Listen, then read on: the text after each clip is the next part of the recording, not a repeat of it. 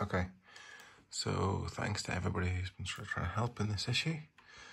Here's pretty much what happens whenever I go to do the configuration. Okay, so you can see there I have display one and I've got display two. So display one shows full Windows Touch support. Display two shows no pen or touch input is available for this display.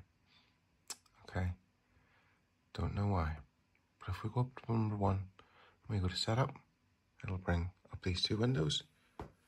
Tap the screen with a single finger to identify as a touch screen. Okay, to close the tool, press escape. So that's not closed. So we're going to assume that that's worked. We now go to this one and go setup. Okay, and we press enter to move it to the other screen. It's over there. The same thing still applies.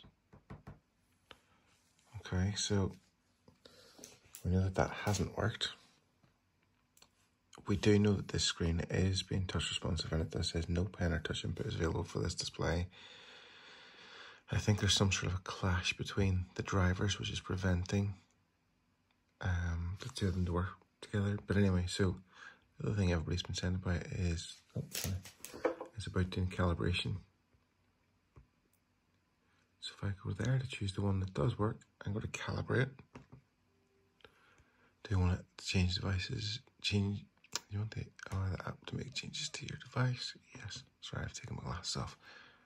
To provide calibration samples, tap the crosshair each time that it appears on the screen. So you can see that it's up on the top left hand corner of the screen at the minute. But there's not one thing I can do to make that operate. Not one thing at all. I just won't do it. Now, we can't sort of go to the other one. Oh, we can't go to the other one to calibrate it because the calibrate option isn't isn't available for a screen that it doesn't think has a touch input. So what I'm going to do is I'm going to disconnect screen one. The other hand. And I'm going to take the USB out of that as well. So now I would want to get this screen.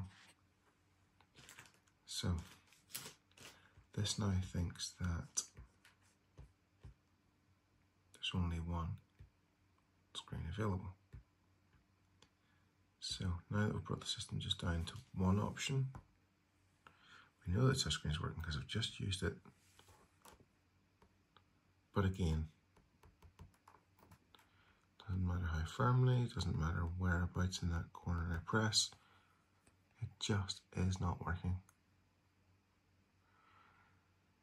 So this is Windows 11 uh, on its most up-to-date form that just will not allow a Hannspree HT161 HNB screen work in the calibration tool. So it's very, very strange. I don't know if anybody can help with this.